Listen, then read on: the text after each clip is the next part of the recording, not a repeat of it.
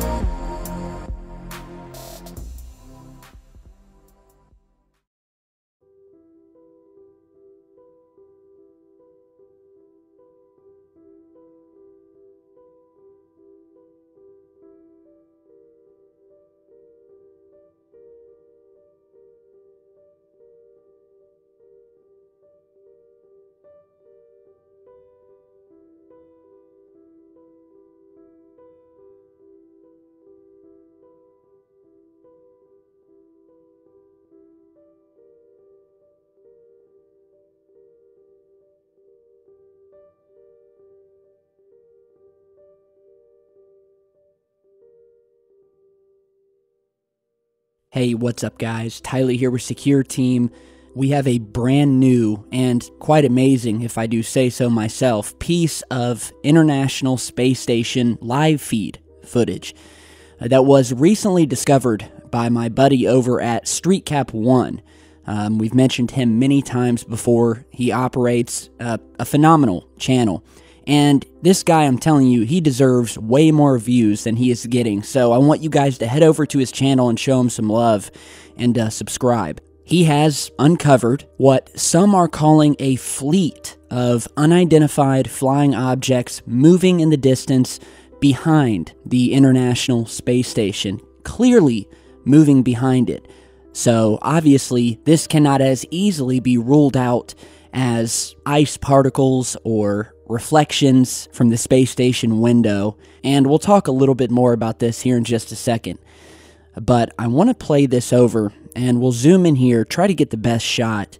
But we have, as I can count, uh, about six UFOs passing behind, and judging from the distance, I would think that the size of these objects, whatever they are, would be fairly large, much larger than NASA's typical excuse of ice particles. Uh, we must be looking at icebergs here in this footage uh, because they would have to be large. And you'll also notice in this footage that these things are not spinning. Uh, typically with ice crystals or dust particles, which have been seen, no doubt, in International Space Station footage. They have a habit of tumbling, uh, usually pretty fast, and you'll see this in the light reflections, where you'll see this flicker moving at an extremely high rate of speed. So, what we have here are objects that would seem to be moving at a very steady pace. And furthermore, we have the famous feed cut, which NASA has been known to implement a time or two. And it really is an ingenious way of stopping the feed when they don't want us to see what's going on. And usually, you'll get a blue screen or otherwise what is known as a signal loss, which conveniently NASA even states on the live stream webpage that this does in fact happen, which of course easily allows them to do it more and more under the guise of a signal loss, or you'll get these transitions where instead of simply cutting the feed under the guise of a signal loss, they will switch to a camera inside ground control where you get this wonderfully dull view of the NASA employees sitting around staring at these projection screens here. And of course, this is a much more subtle way for them to move away from a certain clip without just cutting the feed and arising suspicion. And it works. You know, it, it takes the focus off of the feed. That's the point. Whether they cut the feed or they transition to a shot of what we're seeing here, they've ended our view of the feed momentarily until these objects finish passing by. And most people won't be the wiser. Uh, I think that you'll decide that there is definitely something going on and they don't want us to see, which is another reason why they use such low resolution cameras aboard the International Space Station. Now, of course, you would think in this day and age they would have 4K Ultra HD cameras set up, which I firmly believe that they do. but those recordings are not shown to the public. No, we get these almost 1980 style VHS recordings that, even when documenting a clear piece of UFO footage, is so lacking in detail and definition that we really can't tell what we're looking at anyway. Which makes it, of course, a lot easier for them to offer a 24 7 live feed. Because at best, even if an alien were to fly up and tap on the window, we still wouldn't be able to make it out. And we'd no doubt have the same old it's ice crystals excuse uh, put forth by NASA and their apologists. So, an amazing piece of footage. Let me know what you guys think. Uh, another strange discovery that was put up a few weeks ago, I, I wanted to feature this real quick because it goes with a finding that we made uh, back in 2014 uh, is this piece of footage here.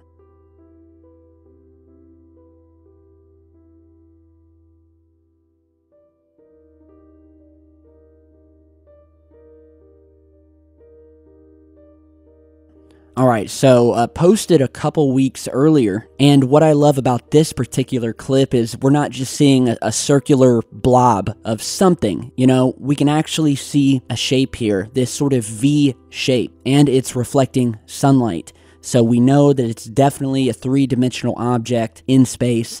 Briefly appears in one single frame. So whatever this was, it was moving extremely fast. Let's go ahead and zoom in.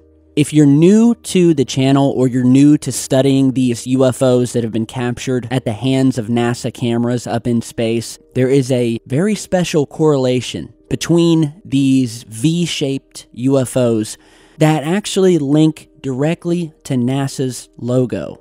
And once you do a little bit of research and you start looking at all of the various logos or logos that are connected to NASA, whether it be mission logos, mission patches, even the logos of other space agencies, almost all of them featuring, in one form or another, this V shape, or what has been known as the chevron.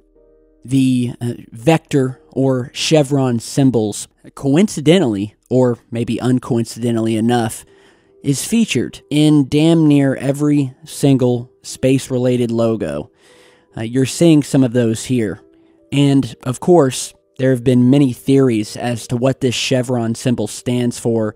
Some have said, well, it's completely harmless. It just stands for the shape of the hypersonic craft that have been developed by the military and the space agencies. Others have pointed out that this chevron symbol has a deeper meaning and links directly to many of the UFO sightings, at least the ones that we've caught publicly, and how many of them look almost exactly like this symbol and that it in fact relates to something secretive, something in space that, uh, again, not only NASA has featured, which is also strange because almost every other space agency features the exact same symbol. And you're seeing those here, whether it be China, Russia, Japan, India, Canada, they all feature it. So there's a lot of mystery behind the symbol. Others say it has a demonic meaning. Of course, there's a group of flat earthers who believe that it represents something to do with the concave earth or flat earth. Um, you know, that's a topic for a whole nother video. But yeah, I just wanted to throw that out there. The symbolism is there, and again, we have this V shaped UFO, which has been seen before many times, and that brings me to the clip that I discovered and posted on the channel way back in 2014. And to this day, I believe this remains as one, if not the most damaging piece of evidence that there are alien ships out in space, and that is this clip that you're going to see here. So check this out.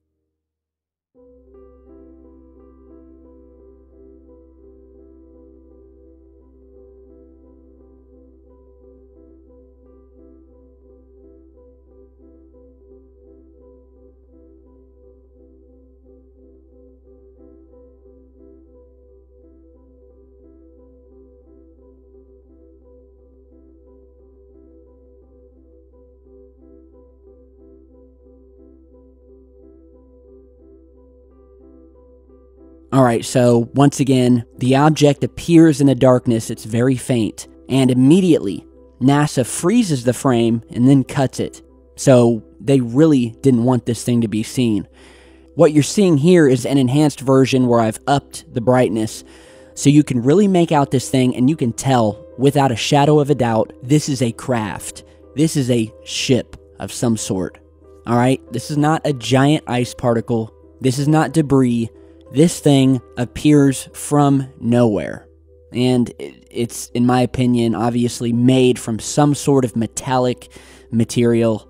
Yet again, this pointed chevron shape, V shaped craft. And as you guys can see, this thing appears in the background. You'd almost miss it had you not been watching this at the exact moment it appeared, but luckily, I used to sit for hours and hours on end recording this ISS footage, and then I would go through it all and review it. And so when I caught this, I had luckily recorded it, and um, it was just an amazing finding, jaw dropping stuff. And it is to this day. It's one of my highest viewed videos, and for good reason. I mean, I don't think the evidence gets any clearer than what we're seeing here. So of course, let me know what you guys think. And and remember what I said. Even if you're a skeptic, I'd ask that you at least admit to the fact that a lot of the UFO footage we've shown you that has come from the ISS cannot all be uh, space dust or ice crystals. And I want you to remember that this whole ice crystal thing was put forth by NASA. I remember a couple of years back, once channels like mine started to gain popularity, and these ISS videos featuring these UFOs started to get a lot more attention on the internet, while NASA started to get nervous. And so, what did they do? Well, they had one of their very own, uh, one of their astronauts, a man by the name of Tom Jones, who flew various space shuttle missions, um, just sort of came out of nowhere and started doing these interviews with people like the Huffington Post, as well as posting on his own personal blog that, plain and simply, there are no aliens in space, that no astronauts have ever seen even a shred of evidence of UFOs in space, and that every single piece of footage showing something strange coming from space is nothing but space debris or ice crystals. Uh, and of course, we know for a fact that multiple astronauts have made public their belief in aliens and UFOs and have flat out admitted that they saw UFOs while up in space, whether it was on the space shuttle, whether it was flying to the moon and back. They've admitted it. And so Mr. Jones basically came out and made a very bold claim and said point blank that, well, these astronauts who said these things must have just been mistaken. Uh, and, I mean, you guys will have to read up on some of his articles. And, I mean, the level of what almost feels like hatred and vitriol uh, this guy has in the way he talks about people who research UFOs. Uh, I, I remember reading an article of his on one of his blog posts and we actually did a video about this, I think it was about a year or so back, uh, where he basically told the Huffington Post that he is no longer a fan of UFOs. And again, was talking about how he had never seen a UFO in all of his missions that he flew, and that no other astronauts had seen UFOs, and that there was absolutely no proof that aliens exist outside of our planet. And he wrote about this on his blog where he basically said that it's extremely sad and regrettable that young people are being so naive as to think that there are UFOs out in space. And that any notion that astronauts have witnessed UFOs in space is a quote, deliberate falsehood. And I guess what I'm trying to point out here is that these sudden attacks from one of NASA's own astronauts against specifically these UFO sightings and the fact that people were looking into them, it all seemed very forced, if you guys know what I mean. Very deliberate, very calculated.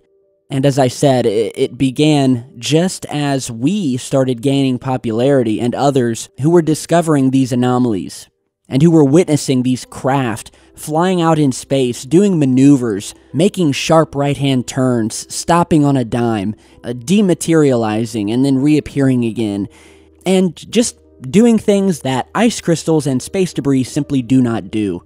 So, you know, NASA got worried, and then suddenly we start getting all this hate uh, from one of their own pet astronauts. So, you got to remember, not everything is black and white. There's a lot of gray in this research, and the only people out there who are naive are the ones who take NASA at their word and believe everything they would tell us at face value. So, with that, I hope you guys enjoyed today's video. Let me know what you think about this amazing new footage. Be sure to stop over and subscribe to StreetCap1. And as always, stick around because I've got a lot more coming, new UFO footage on the way. So, enjoy the rest of your night, and I'll see you back in just a bit. Stay safe, guys.